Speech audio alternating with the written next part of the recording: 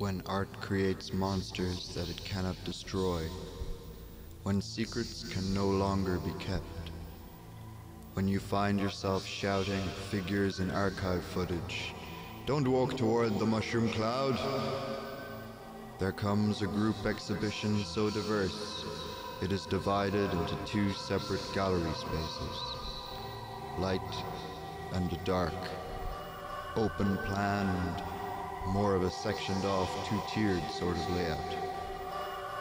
From the curators of Mesh and the artists who brought you Unit 30 something comes an exhibition of so many different artists that its title derives from the collective noun for a type of heron.